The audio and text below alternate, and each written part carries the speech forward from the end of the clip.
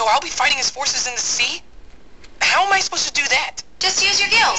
Tell me, Pit, how are you with branchial respiration? Oh, no worries. I minored in branchial respiration. Wait, you're crazy. Okay, just hold your breath then. For about two hours. I said you're crazy?